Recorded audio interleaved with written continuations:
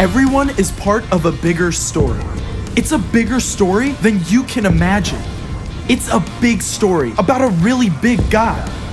Discover the story that shows you the character of God.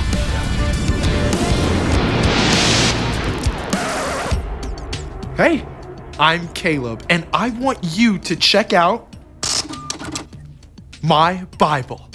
It's a whole library of 66 books in one. The story of God's love for us that runs deeper than the roots of the mountains and further than the most distant star. When you open its pages or scroll or click, you discover God's very own words written down by people who followed him. In these scriptures, we discover that through Jesus, we can have friendship with God and with each other. I've got four stories to show you what it can look like.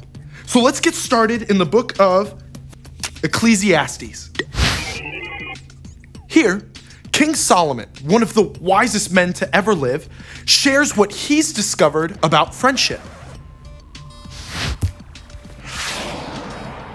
Two people are better than one. They can help each other in everything they do. One person could be overpowered, but two people can stand up for themselves. And a rope made out of three cords isn't easily broken. When it comes to friends, one plus one always equals way more than two. Now, that's some new math I can handle. Time to head over to the book of 1 Samuel. Okay, here we discover one of the most famous friendships in the Bible David and Jonathan. Jonathan is the king's son, so he should be the next king, right? But God's already chosen John's friend David as the next king. You'd think John would be jealous, but instead, he goes over and above to keep his friend safe when David finds himself between a spear and a hard place. Now let's jump ahead a couple books to 1 Kings. The kings of Israel after David and Solomon are a mixed bunch, but God sent the prophet Elijah to speak truth to them. It's a lonely job, and Elijah's on the run for his life.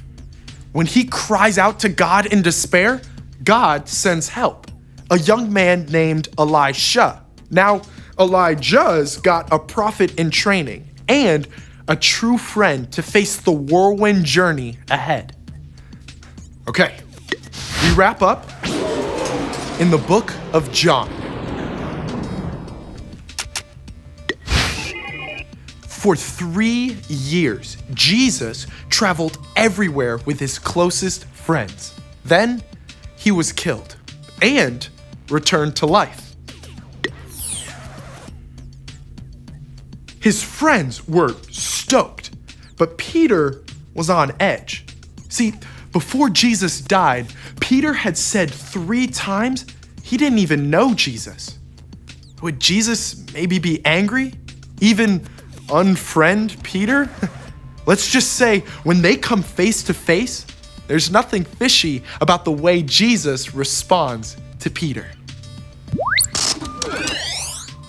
Being a friend, it's not always easy, but God can give us the courage and kindness we need to show true friendship. And I can't wait to see how it plays out in you and me.